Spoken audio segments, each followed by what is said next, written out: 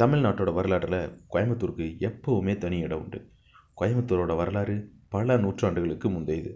கோயம்புத்தூர் எப்படி எல்லாருக்கும் பிடிச்ச ஒரு நகரமாக மாறுச்சுன்றதை பற்றின பத்து உண்மைகளை பற்றி தான் இந்த வீடியோவில் பார்க்க போகிறோம் welcome to Tamil Info Media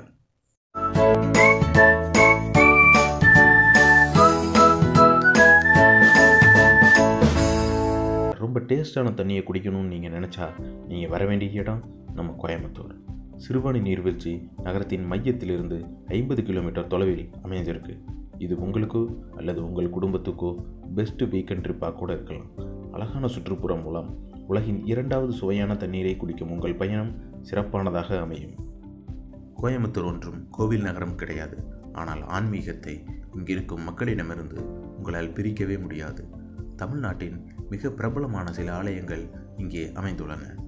முருகப்பெருமானின் உலக புகழ்பெற்ற மருதமலை தென்கைலை என்று சொல்லக்கூடிய வெள்ளியங்கிரி மற்றும் ஈஷா யோகா மையம் போன்ற பல சிறப்பு வாய்ந்த கோவில்கள் கோயம்புத்தூரில் அமைந்துள்ளன. தமிழகத்தில் கல்வியில் அதிக தேர்ச்சி விகிதம் கொண்டுள்ள மாவட்டங்களில் ஒன்று கோவை.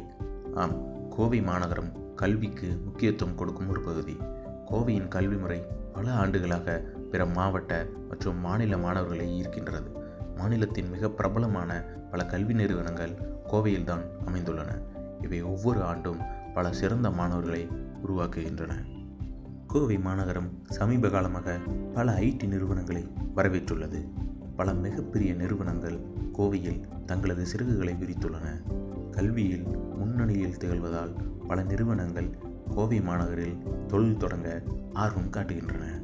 கோவை மாநகரை எப்போதுமே சிறப்பானதாக மாற்றுவது அதனுடைய சுற்றுச்சூழல் தான் சில்லென்ற பேரின்பத்தென்றல் நீங்கள் அனுபவிக்க வேண்டிய ஒன்று. காலநிலை மாற்றம் காரணமாக சில நேரங்களில் வெயிலடித்தாலும் கோவை உங்களை ஒருபோதும் ஏமாற்றாது. கோவை மாநகரை மேலும் சிறப்பானதாக மாற்றுவது அதன் ஒரு பகுதியான ஊட்டி. இந்தியாவின் மிக முக்கியமான சுற்றுலா தலங்களில் இதுவும் ஒன்று. கோவைக்கும் ஊட்டிக்கும் இடையேயான தொடர்பு மிக பழையது. கோவை மக்களை பொறுத்தவரை இது சாதாரண நான்கு மணி நேர பயணம். மற்றவர்களுக்கு ஊட்டி மிகப்பெரிய சுற்றுலாத்தலமாக உள்ளது. உங்கள் லிஸ்ட்டில் ஊட்டி இருக்கா இல்லையான்னு ஒரு டைம் செக் பண்ணிக்கோங்க. இந்தியாவின் பருத்தி நகரம் என்றால் அது கோயம்புத்தூர் தான்.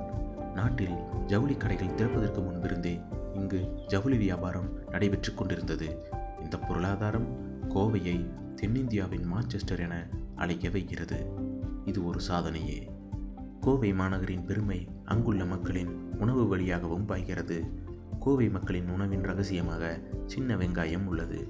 அங்குள்ள மக்கள் இந்த வகை வெங்காயங்களை தங்கள் அன்றாட உணவில் சேர்க்கின்றனர். அதுவே தங்களின் ரகசியம் என அங்குள்ள மக்கள் கூறுகின்றனர். கோவை உணவு வகைகள் உங்கள் நாவில் நடனமாடும். கேரளா அண்டை மாநிலமாக இருப்பதால் அதன் அதிர்வையும் இங்குள்ள மக்களின் உணவு வகைகளில் பார்க்கலாம். கோவை மாநகரின் எழில் கொஞ்சம் அழகை முழுவதுமாக சுற்றி பார்க்க சிறந்த வழி பேருந்து பயணம்தான்.